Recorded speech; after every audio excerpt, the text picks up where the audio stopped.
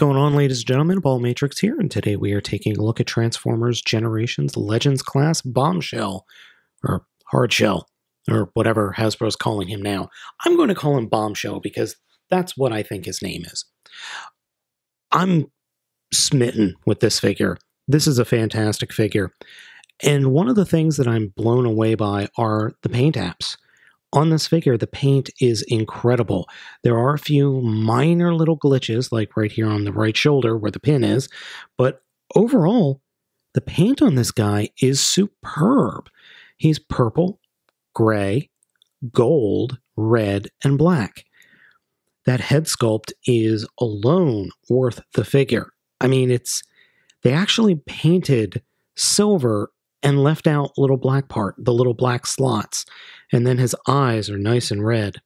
His re- the rest of the body is just really well painted and feels very high quality. I I don't know how else to explain it.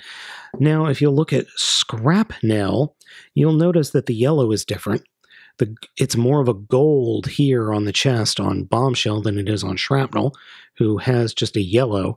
And you'll also notice that the yellow on Shrapnel actually fades as it reaches the corners and the edges. Not so with Bombshell. Just a very nice updated version of one of my favorite Decepticons. Transformation for this guy is really satisfying. It's easy, but satisfying. Start off with fold the antenna up and over his head, then take the arms and put them out to the side, rotate the hips 180 degrees, put the legs together and fold out the bug feet, which uh, you really can't do at the same time.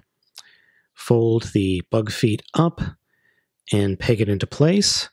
Then take the arms and fold them underneath the body such that the back of the forearms is pointing towards the inside of the bug mode. And then the forearms will peg together and we have our own little rhinoceros beetle. Oh, he is so cute and so well painted. Just so nice, so cool looking. Just absolutely fantastic.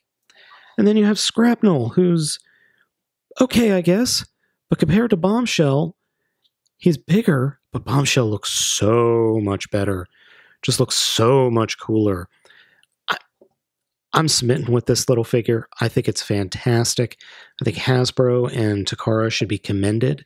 They made a fantastic little figure that's a lot of fun, holds together well, looks fantastic, and is well painted.